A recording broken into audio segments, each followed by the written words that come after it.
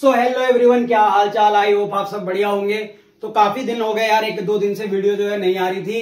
तो उससे जो है कई लोग कह रहे थे, वीडियो क्यों नहीं बना रहा है? देखो, आज का पेपर आपने दिया होगा, आपको मज़ा आ गया होगा। कुमाऊं यूनिवर्सिटी वालों ने जो मेरे से बड़ा होगा बॉटनी तो मैंने सिर्फ़ यूट्यूब में आठ से नौ क्वेश्चन कराए थे फाइकोलॉजी के ऊपर, जिसमें से आपके पेपर में छह क्वेश्चन आ गए थे। और मैंने ऐसा देखा कि जो सत्रह मार्क्स से क्वेश्चन थे ना, यानी साढ़े सत्रह मार्क्स के 75.2 ना 75.2 नहीं 17.5 multiply two is equal to thirty five होता है। तो हमारा जो पैटर्न चल रहा है वो पिछहत्तर मार्क्स का है तो पिछहत्तर मार्क्स में से जो दो, तीन क्वेश्चन ऐसे थे, जो लॉन्ग वाले क्वेश्चन होते हैं ना, उसमें से पाँच में से आपको दो करने होते हैं।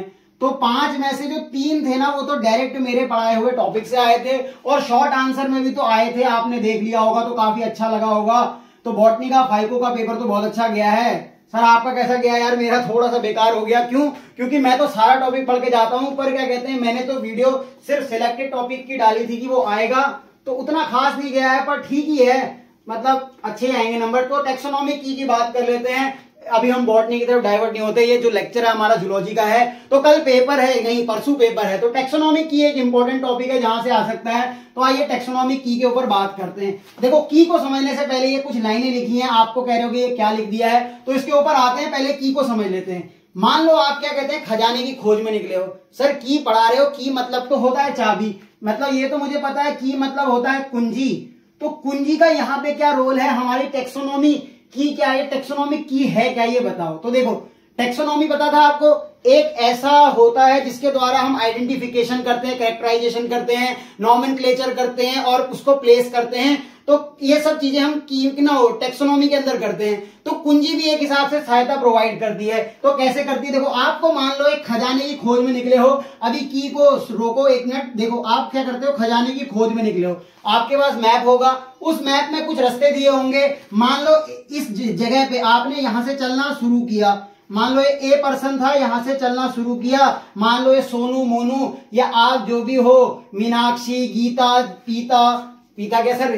जो भी हो मतलब जो भी नाम है, वो यहाँ से चलना शुरू करती है, दीक्षा। तो यहाँ से चलना शुरू करती है और यहाँ पे आती है, या आता है। तो उसको क्या मिला? दो रास्ते मिले यहाँ से। एक रास्ता तो यहाँ जा रहा था, एक रास्ता यहाँ जा रहा था। मान लो जो दीक्षा है, वो सोने की तलाश में जा रही थी, सोना, नींद नहीं।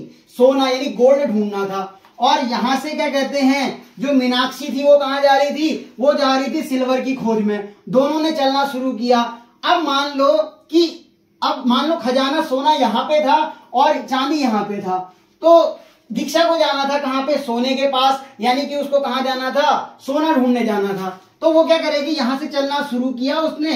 तो इस जगह पे आके उसने एनालाइज किया, उसको पता चला गोल्ड यहाँ पे है।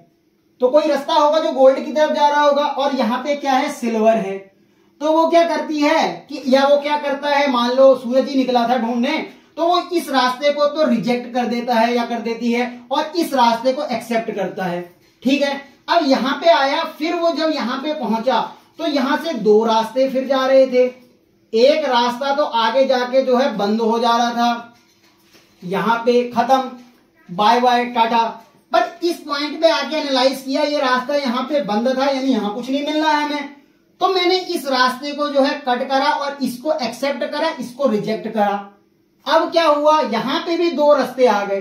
सर, ये क्या सोना इतना देर में मिलेगा? तो भैया, सोना है, कोई मज़ाक नहीं हो रही है। पिछहत्तर हज़ार रुपए, छिहत्तर हज़ार रुपए तोला हो गया है। सर, तोला तो पचपन छप्पन ग्राम है, हम पहाड़ी हैं यार। बारह ग्राम वाला असली हम एक तोला मानते हैं, दस ग्राम वाला नहीं मानते हैं। तो देखो गोल्ड के पास जाना है। तो मैंने इसको रिजेक्ट कर दिया, इसको एक्सेप्ट कर दिया और फिर मैं यहाँ पे एनालाइज करके पहुँचा, इसको मैंने क्या करा? एक्सेप्ट करा, इसको क्या कर दिया? रिजेक्ट कर दिया। अब जो मीनाक्षी निकली थी सिल्वर की खोज में, वो भी यही कर रही है। यहाँ पे उसको दो पॉइंट मिले, वो इधर पे गई, ये रास्ता बंद हो गया तो उसने इसको रिजेक्ट करके, इस बार इसको सिलेक्ट किया था, इसको रिजेक्ट करके मान लो वो सिल्वर तक पहुँच गई, ये जल्दी पहुँच गई, सिल्वर के पास, सस्ती चीज़ पहुँच गई। अब क्या हुआ, इससे क्या समझ में आया? तो सर इसका की से क्या रिलेशन है? तो देखो, आप क्या कर रहे हो? हर पॉइंट में जाके एक जगह से चलना शुरू कर रहे हो और जिस पॉइंट में पहुँच रहे हो, वहाँ पे एनालाइज कर रहे हो। एक को एक्सेप्ट कर रहे हो, दूसरे को क्या कर रहे हो? रिजेक्ट कर रहे हो। एक को एक्सेप्ट कर रहे हो, दूसरे को रिजेक्ट कर रहे हो। मतलब हर पॉइंट पे एनालिसिस करनी पड़ रही है। तो अगर आपसे की पूछा जाए, की क्या होता है? देखो, की या टेक्सोनॉमी की एक ऐसा आपको एक पेज मिलेगा, मैं दिखा देता हूँ, एक पेज आपको मिलेगा, जैसे ये पेपर है, मान लो, एक पेज मिलेगा आपको कि मैं, इसमें क्या होगा ना ग्रुप ऑफ़ स्टेटमेंट लिखे होंगे। मान लो आपको एक कागज़ मिला बढ़िया सा, उस कागज़ में आपको क्या होगा ग्रुप ऑफ़ स्टेटमेंट लिखे होंगे, यानी यहाँ पे कुछ स्टेटमेंट लिखे होंगे। उन स्टेटमेंट में से क्या करेंगे, ये पेयर में होंगे। ऐसा नहीं कि आपको सीधा मिल जाएँगे। ये पेयर में होंगे, मान लो यहाँ पे एक लिखा है तो उस एक में कोई एक पॉइंट वन करके एक पॉइंट देखो, जैसे ये एक की है। एक ऐसा कागज़ मिलेगा आपको, बढ़िया सा, मैं दिखा देता हूँ। इस तरह का आपको एक कागज़ मिलेगा ये। उस कागज़ में क्या होगा ना, कुछ स्टेटमेंट लिखे होंगे। जैसे एक स्टेटमेंट दो स्टेटमेंट तीन स्टेटमेंट चार स्टेटमेंट पाँच स्टेटमेंट कुछ स्टेटमेंट लिखे हैं और ये पेयर में होंगे। देखो, एक ऐसी लाइन दिख रही है, एक ऐसी लाइन दिख रही है तो पेयर है। दूसरा वाला भी देखो पेयर है। तीसरा वाला भी देखो पेयर है। चौथा भी पेयर है, पांचवा भी पेयर है। मतलब एक कागज़ में आपको ग्रुप ऑफ़ स्टेटमेंट लिखे होंगे और उस ग्रुप ऑफ़ स्टेटमेंट जो होंगे वो पेयर में होंगे। और क्या कहते हैं, वो आपस में कॉन्ट्रास्टिंग होंगे। यानी कि देखो, ये कॉन्ट्रास्टिंग कैसे है देखो, ये पहली लाइन में क्या कह रहा है हैज़ ग्रीन कलर्ड बॉडी उसकी क्या है ग्रीन कलर्ड बॉडी है। और दूसरी लाइन देखो, अलग है नहीं हैज़ पर्पल कलर्ड लेग अब यहाँ पे उसके जो लेग है, वो पर्पल है। फिर अगली लाइन क्या कह रहा है? फोर लेग्स यानी उसके चार पाँव हैं। पर अगली लाइन में क्या कह रहा है? एट लेग्स उसकी जो है, आठ पाँव है। तो देखो, ये आपस में क्या है? कॉन्ट्रास्टिंग है। तो मतलब पेयर में तो होंगे बट ये जो स्टेटमेंट होंगे, आपस में कॉन्ट्रास्टिंग होंगे। आप किसी एक को सिलेक्ट करोगे, दूसरे को रिजेक्ट करोगे, और इस पॉइंट में आके आपको एनालिसिस करनी पड़ेगी। मान लो आपको एक ऐसा एनिमल मिला जिसके शरीर पे क्या थे? ग्रीन कलर्ड बॉडी थी। मतलब उसका जो शरीर था, वो ग्रीन कलर बॉडी का था। आपको पता चला कि वो जानवर तो ग्रीन कलर बॉडी का है। इस स्टेटमेंट को आपने सिलेक्ट कर दिया। इस वाले को आपने क्या कर दिया? रिजेक्ट कर दिया। मतलब मुझे ये पता चला कि उसके पास ग्रीन कलर्ड बॉडी है। इसका मतलब पर्पल कलर डेग वाली बात ही नहीं है। तो मैंने ये सिलेक्ट कर दिया। अब ये आपसे क्या कह रहा है? गो टू टू यानी इस पॉइंट पे आप एनालाइज करोगे। अब आपको और भी स्टेटमेंट देखने हैं। आपको पता चला उसकी ग्रीन कलर्ड बॉडी है। वो आपसे कह रहा है उस एनिमल की ग्रीन कलर्ड बॉडी थी। तो आप स्टेटमेंट नंबर दो पे जाओ। तो स्टेटमेंट नंबर दो पे आप गए।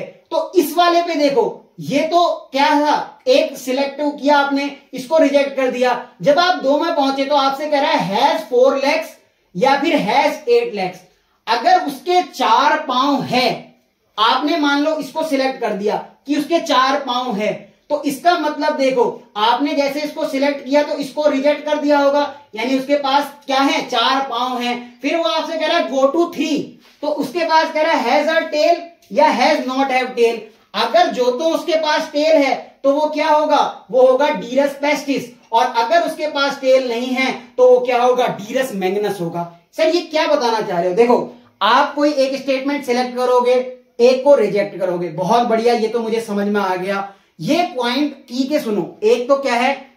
स्टेटमेंट क्या होंगे? ग्रुप में होंगे, जोड़े में होंगे। बहुत बढ़िया। इसमें से किसी एक को सिलेक्ट करोगे, एक को रिजेक्ट करोगे। बहुत बढ़िया। फिर उस पॉइंट पे आके मान लो आपने एक को सिलेक्ट किया तो उस पॉइंट पे आपको एनालिसिस करनी पड़ रही है, नहीं करनी पड़ रही है? आपको पता चला उसके बाद ग्रीन कलर्ड बॉडी है तो आपसे कह रहा है, गो नंबर टू में जाओ। अब दो में भी देखो, आपको चुनना पड़ रहा है एनालिसिस करना पड़ रहा है, सोचना पड़ रहा है। जैसे आप यहाँ सोने की तलाश में आए थे तो जो दीक्षा थी, वो सोने की तलाश में जा रही थी। तो इस पॉइंट पे आके क्या करा? इस जगह पे जाना था, उसने ये देखना था कि मैं यहाँ जाऊँ कि यहाँ जाऊँ। तो उसने इसको काट दिया, फिर वो यहाँ गई। पर अब उसको इस पॉइंट में भी आके एनालिसिस करनी है कि मैं यहाँ जाऊँ कि यहाँ जाऊँ। यहाँ रास्ता बंद है, वो यहाँ गई। फिर यहाँ पे एनालाइज करा तो हर पॉइंट में आपको एनालाइज करना पड़ रहा है कि आपको किस तरफ़ जाना है। तो अब ध्यान से समझो तो की क्या है? एक कागज़ होगा, एक ऐसा पर्चा मिलेगा आपको, जिसमें ग्रुप ऑफ़ स्टेटमेंट लिखी होंगी, और जो स्टेटमेंट होंगी वो आपस में कॉन्ट्रास्टिंग होगी, और या तो वो आपको किसी जीनस पे ले जाएगा, या किसी स्पीसी पे ले जाएगा,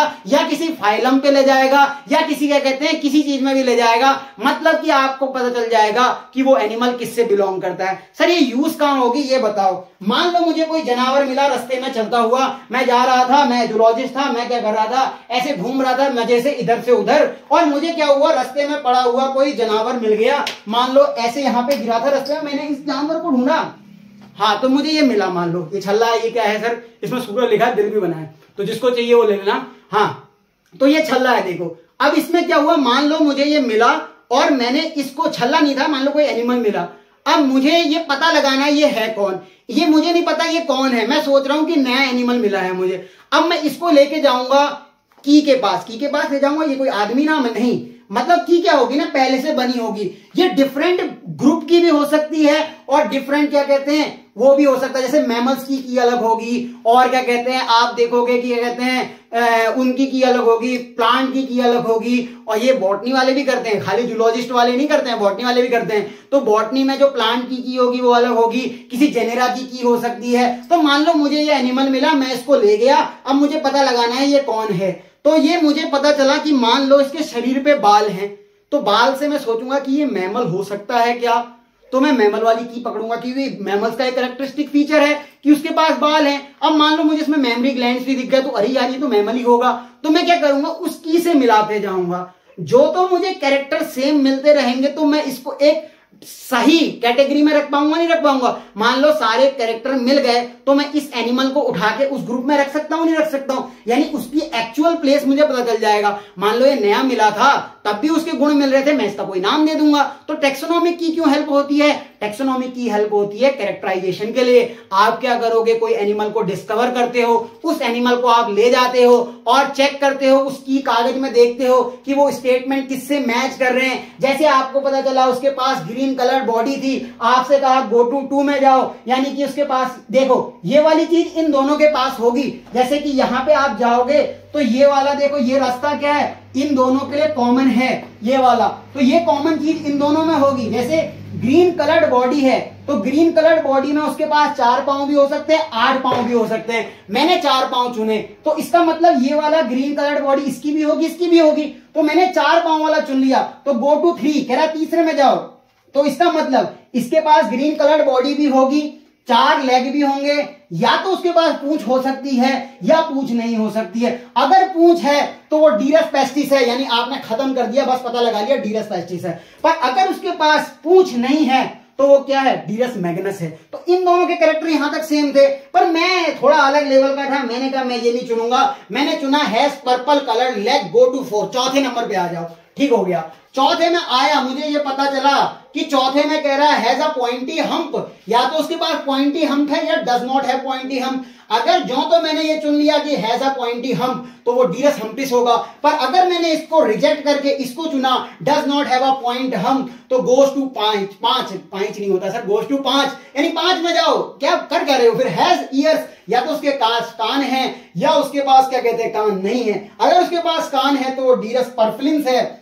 और अगर उसके पास कान नहीं है तो वो क्या है? डीरस डीफस है। तो की आपको समझ में आया कि होता क्या है? तो मैं एक बार क्या करता हूँ, इन लाइनों को लिख लाता हूँ, ऐसे थोड़ी समझाने लग जाओगे। ऐसे समझा दोगे तो मज़ा आ जाएगा। देखो, यार मेरे संग क्या होता है ना, मैं पढ़ के जाता हूँ, मेरा खुद का पेपर थोड़ा सा गड़बड़ा जाता है, पता नहीं क्या हो जाता है।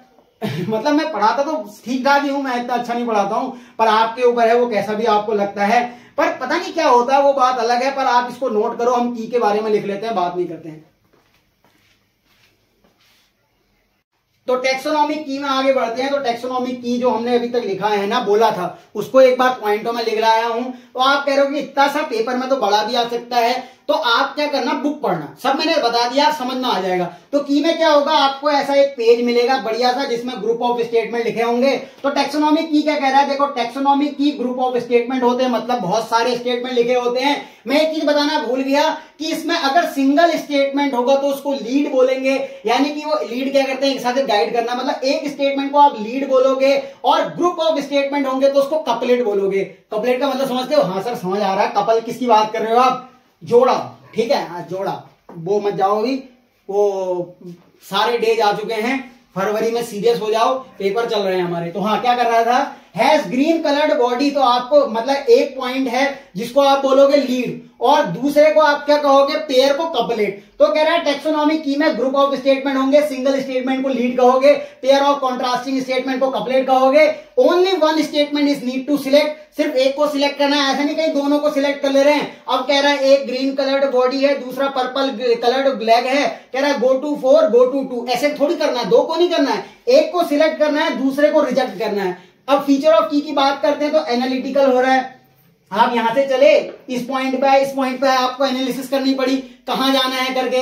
फिर आपसे कह रहा है analytical in nature based on similarity and dissimilarity sir, ये तो आपने बताया नहीं। सिमिलैरिटी डिसिमिलैरिटी बताया था, गौर करो। देखो, आप इस पॉइंट में पहुँचे। मान लो आप यहाँ पे आए तो इस पॉइंट में आप या तो यहाँ जा सकते हो या यहाँ जा सकते हो। तो इसका मतलब ये वाला चीज़ इन दोनों के लिए कॉमन है ना? मतलब ये पॉइंट इन दोनों के लिए कॉमन है, आप कहीं भी जा सकते हो तो ये वाला जो गुण होगा वो इन दोनों में होगा। मतलब ये सिमिलर है, पर ये आपस में अलग है तो डिसिमिलर फिर से समझो। नहीं आता है, देखो तो कोई बात नहीं। एक बार में नहीं आता है, मैं, आपको लगता होगा कि मुझे सब आता है, बिल्कुल नहीं आता, मैं भी आप ही के बीच से निकला हुआ हूँ। मेरे को ये समझने में बहुत टाइम लगता था। मैं आपसे भी मंद बुद्धि था। सर हमें मंद बुद्धि कह रहे हो? नहीं। मैं अपनी बात बता रहा हूँ, क्या करूँ? मैं बताने लगता हूँ तो दुख हो जाता है मुझे। बहुत बार मैं भी कोशिश करता हूँ, मुझे कुछ नहीं समझ आता था। फिर तो समझो, कोई नहीं, मैं भी उन्हीं में हूँ। आप यहाँ से आए, इस जगह पे आए। अब इस जगह पे आपको दो पॉइंट मिले। दो पॉइंट में आप कहीं भी जा सकते हो। ये पॉइंट पे आपने एनालिसिस की एनालिटिकल इन नेचर फिर इस पॉइंट से आप या तो यहाँ जा सकते हो या यहाँ जा सकते हो। मतलब कि ये वाला करेक्टर इन दोनों में कॉमन है ना, इसके लिए और इसके लिए। हाँ सर पर ये वाला जो कैरेक्टर है, ये आपस में डिसिमिलर भी है ना। ठीक है, मैं यहाँ पे आया। इस वाले पॉइंट से आप यहाँ बढ़ो या यहाँ बढ़ो। यानी कि ये वाला जो पॉइंट है, इन दोनों के लिए कॉमन है। बट ये आपस में तो डिफरेंट है। ये देखो, आपस में डिफरेंट है। इसका मतलब क्या है? ये बेस्ड होगी या तो सिमिलैरिटी के ऊपर या डिसिमिलैरिटी के ऊपर। पॉइंट बिल्कुल क्लियर हो जाना चाहिए। अब समझ में आ जाना चाहिए। बहुत अच्छे से बताया। तीसरा क्या कह रहा है? Each taxonomic group of different की हर टेक्सोनॉमिक ग्रुप की क्या होती है? डिफरेंट की होती है। ये मैंने बताया था। और ये यूजफुल होती है प्लांट एंड एनिमल बोथ आप सिर्फ़ ये मत सोचना कि टेक्सोनॉमी सिर्फ़ जुलॉजी वाले करते हैं। अगर आप ऐसा सोचते हो तो बिल्कुल गलत हो। आपने जो है, पढ़ा होगा बॉटनी आपके पास जो है होगी सिलेबस में। आपने बीएससी करके आए हो। अगर आप जो तो ऑनर्स कर रहे हो तो आपके पास नहीं होगी बट अगर आपने नॉर्मल बीएससी की है जैसे मैंने की है तो आपने उसमें जेड बीसी पढ़ा होगा जुलॉजी बॉटनी एंड केमिस्ट्री तो वहाँ पे आपने देखा होगा टेक्सोनॉमी बॉटनिस्ट भी करते हैं जुलॉजिस्ट भी करते हैं, बस वहाँ पे केस प्लांट का आ जाता है प्लांट स्पेसिमेन को ले जाते हैं, यहाँ पे एनिमल का केस आ जाता है तो आपको टेक्सोनॉमिक की समझ में आया होगा। बहुत ही मज़ा आया होगा, आपने काफ़ी इंजॉय किया होगा आज के लेक्चर में। तो मैंने जो है, परसों मेरा भी पेपर है तो मैंने ये वीडियो बना दी है। थैंक यू एवरीवन पढ़ाई करते रहे। ऑल द वेरी बेस्ट मिलते हैं आपसे अगली वीडियो में। Bye bye